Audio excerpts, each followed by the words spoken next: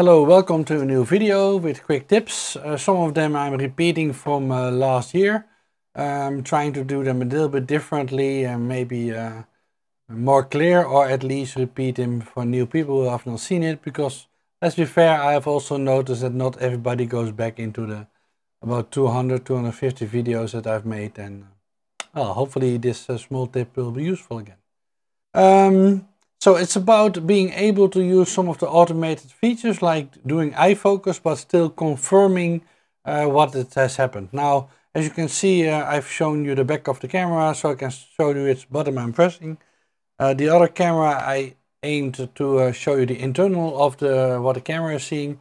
Of course since I'm now focusing on an iPad uh, with a picture of uh, a face um, it's very dark for the rest of the of the frame but as you can see, it's clearly the camera. Um, but I most likely will either use this view where I combine them or where I combine them squished next to each other so you can see the whole screen. So let's get going. So what am I talking about? Now, I'm talking about the simple fact that if I'm using something like eye continuous eye focus, right, then of course it will keep, which is I put like most people in the middle button. If I press it, you can see it find the eyes and I can the picture. Now that works fine, but sometimes you want to use this in single shot mode or you're in single shot mode for other reasons. So let me put the camera in single uh, shot uh, mode. So now I'm on continuous. This looks a little bit weird for you, but let me show you the whole screen. So let's go to this mode. Then I, I do that because otherwise the face looks a little bit weird if I squish it. Uh, but now I'm not in continuous focus anymore.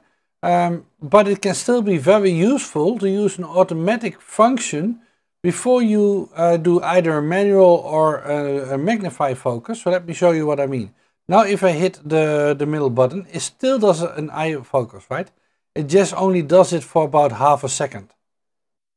So basically it finds the, the eye and then does nothing. And then of course I can take the picture if I want. But what's very interesting is that, and this is just an example, in most functions where the camera has decided to focus somewhere or you tell it to focus somewhere, you can actually use the magnify function to confirm, if that makes sense. So let me show you what I mean.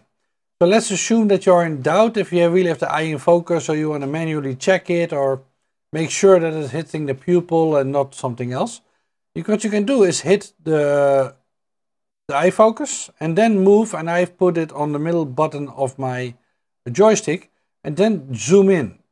And notice where it's zooming in. It's zooming in on the eye I just focused on, right? So let me repeat that. So let's go out of it again, right? So let's randomly, um, well, let me aim it a bit there, right? So here we go. So I hit eye focus. It finds the eye, this case the other eye. The moment that I zoom in, magnify, you see that it will automatically jump to the focus. Now, what I can do next is either manually or automatically focus in while I'm in magnify mode. So in this case, this is my normal focus button, my back button focus button. So if I hit it, you can see that it will now focus in this magnified mode and I can take the picture. Right, so let's repeat it. I do a focus this case, it only finds the eye, right? So now if I zoom in, it will zoom in to that area because it doesn't know. Oh, it actually doesn't. Hold on. Let me move this back a bit. Of course, now it doesn't find the eye. It's just a bit too small for the, the machine, so let's uh, solve that by going into crop mode, then I'm pretty sure it'll find it. So now she's a little bit bigger and let's see if indeed that has helped. It will find the eye again, as you can see. Let me. So it finds the eye, zoom in, you can see that you can, then, then it confirms basically where it found the focus. I can either autofocus again or I can manual focus, which is also very nice.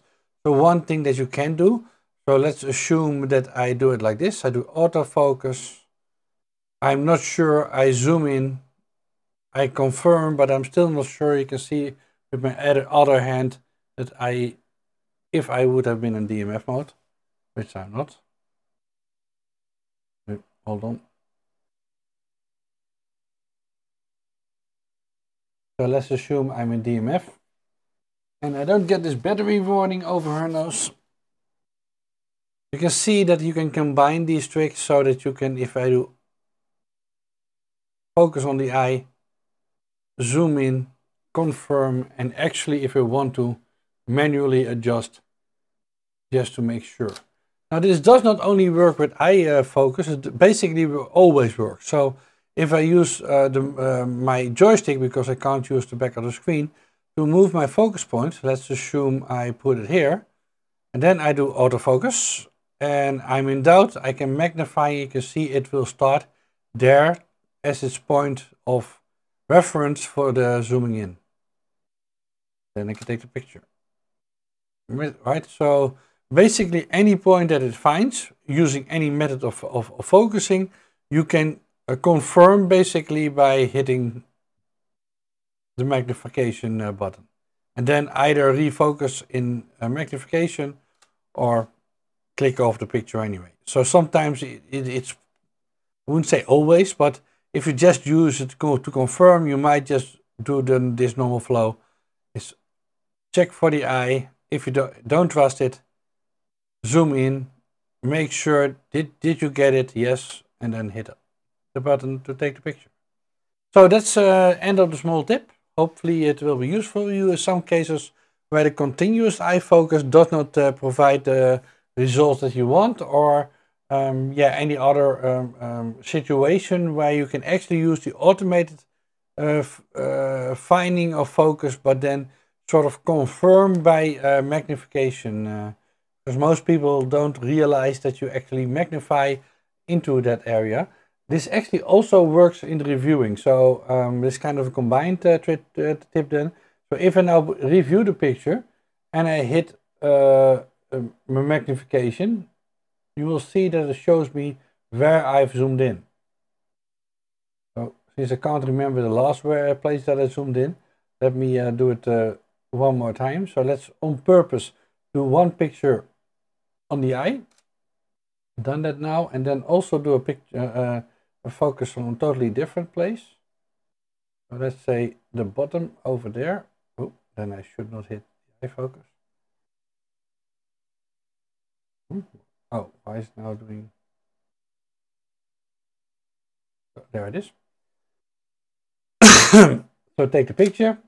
You will see that if I can go in review mode and um, I zoom in, it will now confirm that I've found my focus over there.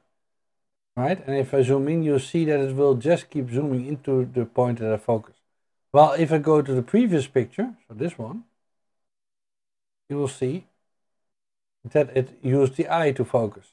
And again, if I zoom in, either by pressing the button, oh, if I zoom in, either by pressing the button multiple times or by rotating, you can see that it will